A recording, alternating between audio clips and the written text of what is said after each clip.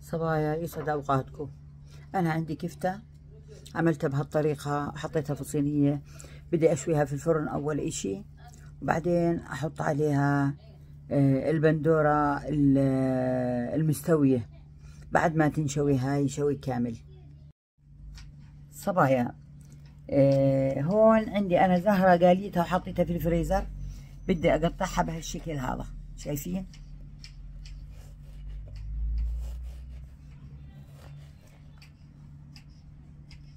صبايا هيك قطعت الزهرة أنا اللي آه، مجمدة بهالشكل هذا. شوفوا. ها أفرجيكم كيف قطعها صارت. وسهلة لأنها آه، أنا حطيتها ومصفيتها من الزيت أصلا. بدون زيت. فهيك أنا قطعتها هسه أسهل للكفتة لما نأكلها. ما بدي إياها قطع كبيرة.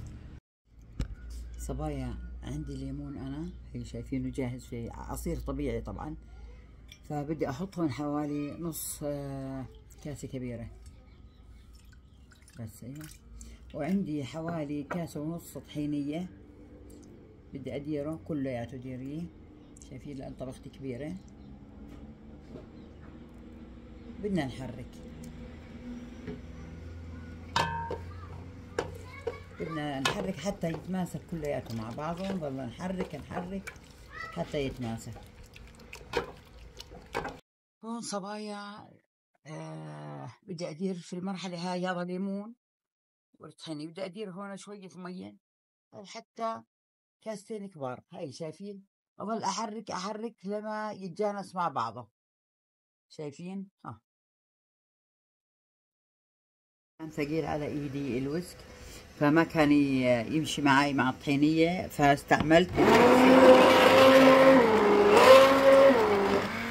زدت عليها مية ما بدي إياها تطلع ثقيل كثير فهلأ بدي أحطها على الغاز تغلي وأسقط الكفتة فيها. طبايا أنا شويت الكفتة الكريات ونازل منها دهن كثير. أنا ما بدي الدهن هذا. الآن بطلعه في الملقط كلياته الكفتة بسقطها في الطحينية والدهن بدي أكبه حوالي زايد. هون بنزل الكريات كرات اللحمة على السريع كلياتهم لا تنسوا أنا ما حطيت لسه الزهرة بس تغلي مظبوط بحط الزهرة.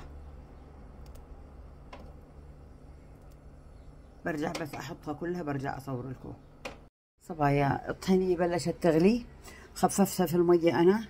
فبدي أنزل عليها الزهرة المجمدة شوي شوي, شوي, شوي.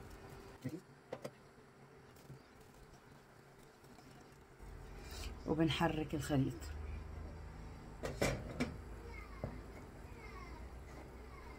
بنخليها تغلي تقريبا عشرين دقيقة. آه، صبايا هون عندي ملح وفلفل بدي أحط عليها. وأخلط الخليط. بلشت تغلي على شكل دائري طبعا. هون أربع توم حطيتهم بدي يتذبلوا تذبيل بدون حرق. وبدي أدير عليهم الكزبرة الخضراء. مفرج عندي تفريز.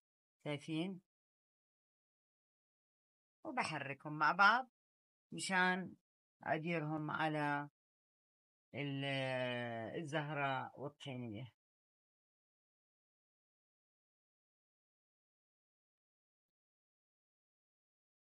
هون صبايا بدي أدير الطشة في النص أحطها اللي هي الكزبرة والثوم. بحرك كمان. شايفين؟ تعطيها نكهة وزاكية. الصبايا هون خلصت طبختنا. بتمنى الكل يعمل نفس الطريقة.